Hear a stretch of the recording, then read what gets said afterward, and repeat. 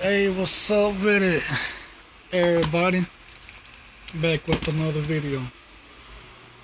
I'm about to do this uh opening on these Core Titan bundle pack and this tank bundle pack.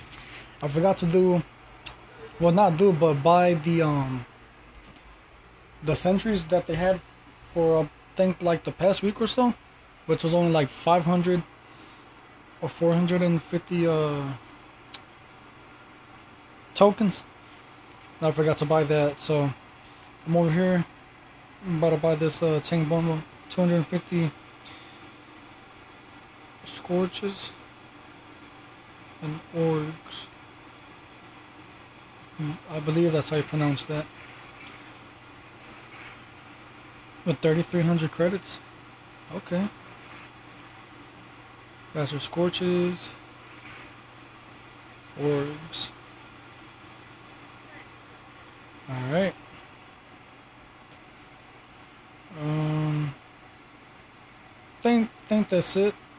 For this video I'll do the other opening and the next video.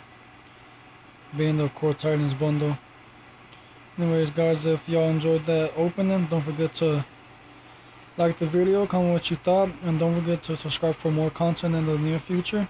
And thanks for watching.